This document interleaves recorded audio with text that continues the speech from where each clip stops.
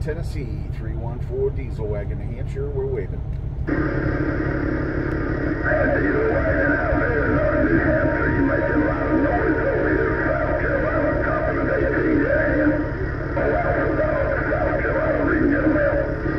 Ooh, you said Alpha Dog? Oh man, I tell you what, I got that on video game, man. You just uh, smoked my receive up here in New Hampshire. You sounded good.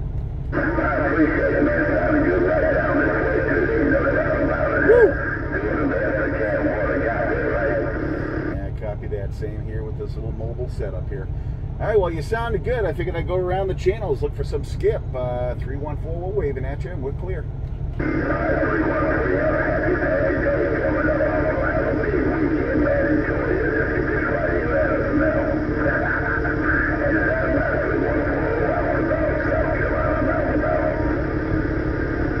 That's channel uh, 18. And he popped right in there. The Carolinas, uh, looks like they're the ones with the conditions right now. I thought I'd get some Kentucky on 18, but no.